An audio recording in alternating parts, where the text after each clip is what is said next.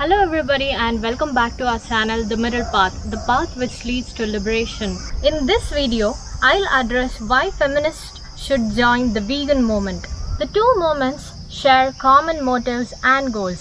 They also share common enemies. Women and animals are victims in our society.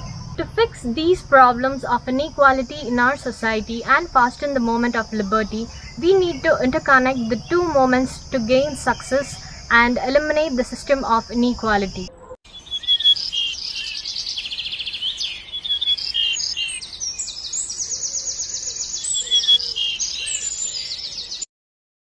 To achieve equality, we need to work together in solidarity. Animal liberation and human liberation are thus interdependent. So now let's understand what are the similarities between the two movements. These similarities help in interconnecting the two movements.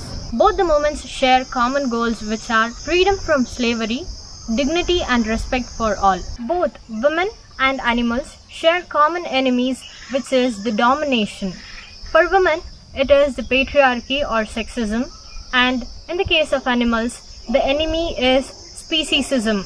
Women are dominated by men while animals are dominated by human beings. Women and animals in our society share common problems as follows.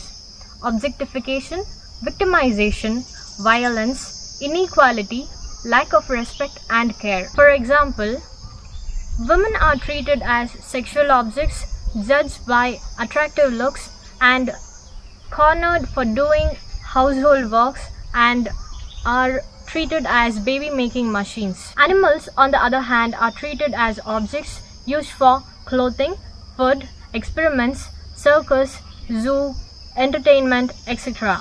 So, both women and animals are part of victimization and are exploited. Both face domestic violence uh, which include physical and mental torture. Both women and animals are treated as property. Society denies that animals and women have needs, feelings and both are sentient beings. Animals are owned by owners while women are also sold as a property. In India, women are sold like a property that is, uh, Kanya Dana is done. As the animals are sold as properties, women are sold in Indian society too. The animals also face sexism. Female animals are treated different from the male ones. Female animals undergo forceful insemination, rape, continuous pregnancy and are treated as producers, incubators and are tortured and they suffer all the life. In animals, male infanticide is evident, while in human beings it is the opposite.